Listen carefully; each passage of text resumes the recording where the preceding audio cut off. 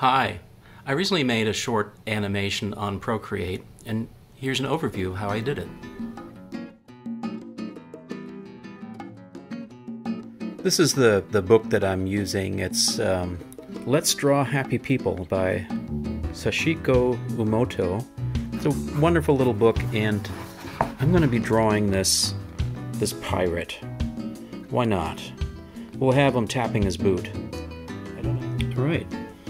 So for now, what I'm going to do is I'm just going to draw.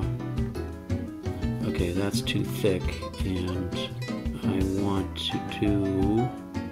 Let's do an HB pencil. Okay. So, and I want to do black for now.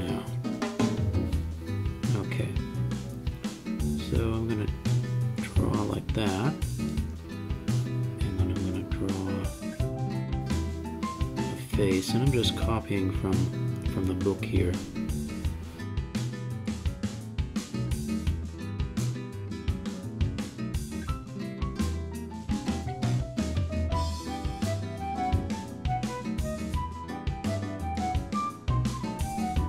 I want my pirate to have a little bit of color, so I'm going to give him a purple overcoat and some orange pants.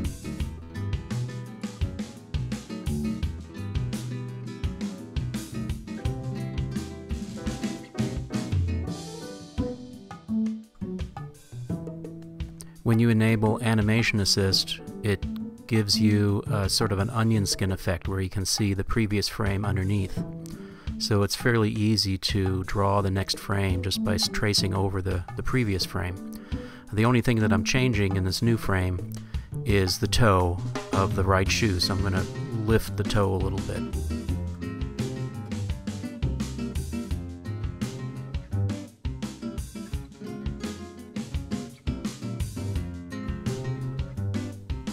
And now I'm doing one more frame. And again I'm just tracing the previous frame but I'm going to lift the toe even farther.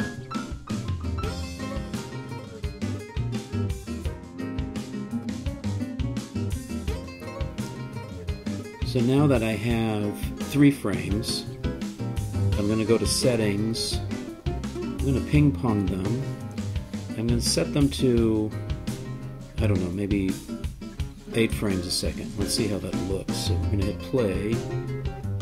I mean, he's tapping his boot, and there's a fair bit of movement. So let's let's go with this, and now we can come up with some music and see how it looks with the music. So I'm going to play something simple in Sunrizer, and I'm going to record that into GarageBand. And the way that I'm doing that is I use Audiobus. So I'm going to select Audiobus. I'm going to select Sunrizer as the input. I'm going to select GarageBand as the output. Sunrizer is already running. GarageBand isn't running, so I'm going to go ahead and start it. And now they're connected. So the next thing that I can do is I can go to Sunrizer, and in this case, I'm just going to select a, a simple arpeggio. That's not it, so we're going to go and, and find an arpeggio. There is one that I like here. Where is it here? Comrade. I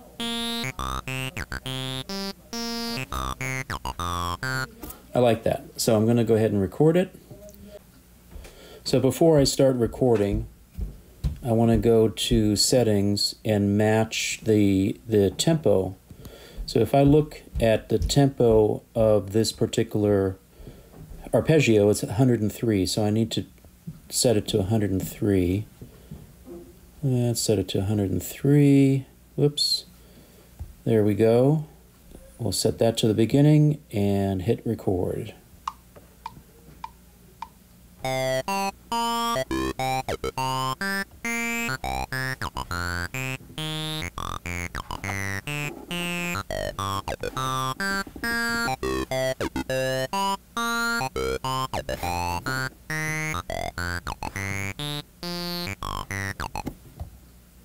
So now if I go to GarageBand, I should have all eight bars recorded. Good, so now I want to go and add a, uh, a drummer. So let's go add the drummer. And um, Leah. Well, let's try Leah. And we're, I'm going to set it to, to simple and loud. And let's see how that sounds.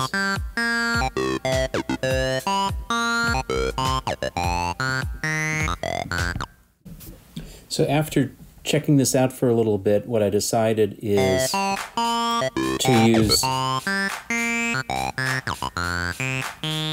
to use Maurice as a drummer because his I like his sort of sparse style. It seems to match the arpeggio the best.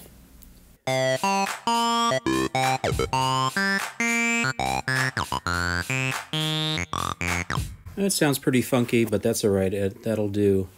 So the last step is to export the songs. I want to share it as a song. High quality is fine. And now we're going to go and, in my case, I'm sharing it to my drive. Select folder, drive, audio files, save here, upload.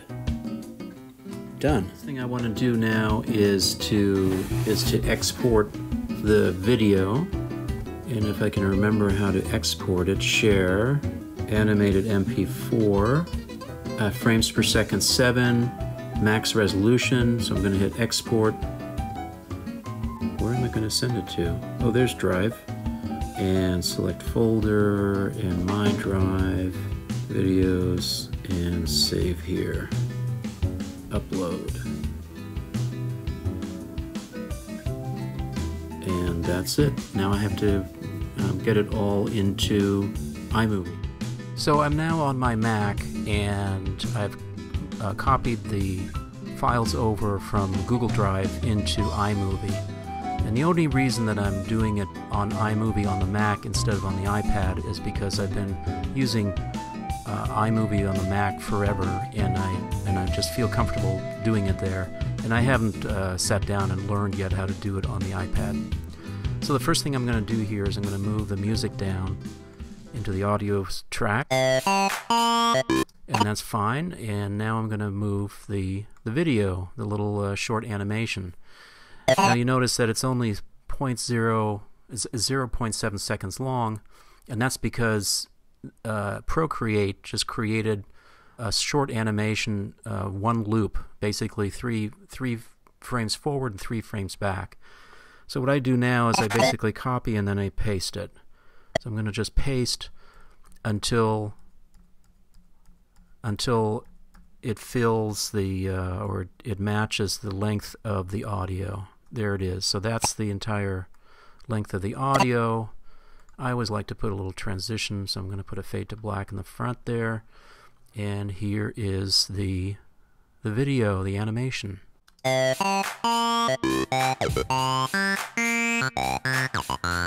Great. And that's how I did it. Thanks for watching.